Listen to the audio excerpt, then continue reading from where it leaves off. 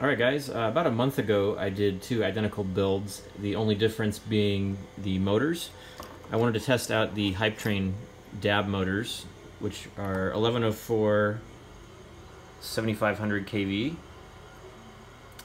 I want to test those out against a another popular motor, which is the Emax 1106 6000 kV. I'm running these on 3S, and yeah, like I said, it's been about a month, and I gotta say the dab motors are uh, definitely my favorite to fly. Uh, I think a lot of that comes down just to the weight. Like I said, these are identical builds. So if you look, this guy, oops, there we go. Tipping the scales at 106.4, 106 point, yeah, four. This guy,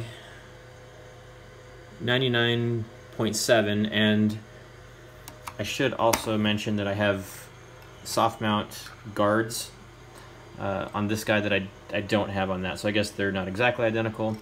Um, those are adding a little bit of weight but not much. Uh, and even so this comes in lighter. Uh, and you know particularly with the weight sticking way out on the arms you do feel the difference between the way this one flies and the way this one flies. Even though power is about the same uh, this gets less prop wash. Uh, this guy just isn't quite as floaty and uh, is a little bit, it's just less fun to fly. Uh, I really kind of go for this one most of the time first. Uh, so yeah, that's my assessment after flying these for a month.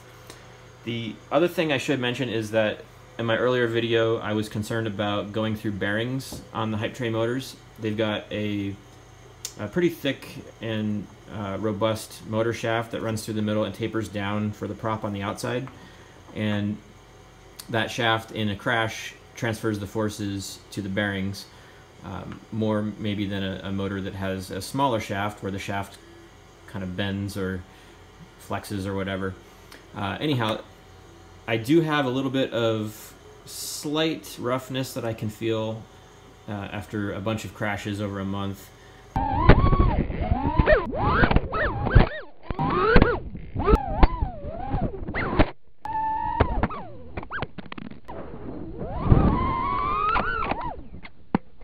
But it does not seem to affect the flight uh, characteristics at all, at least not as far as I can notice.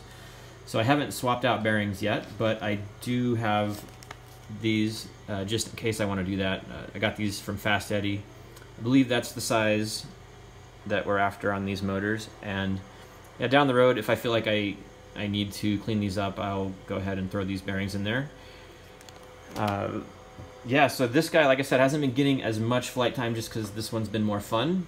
So my plan now is to throw four dab motors on him. So I got two of the same one. Um, yeah, any questions or comments, leave them below. Thanks for watching.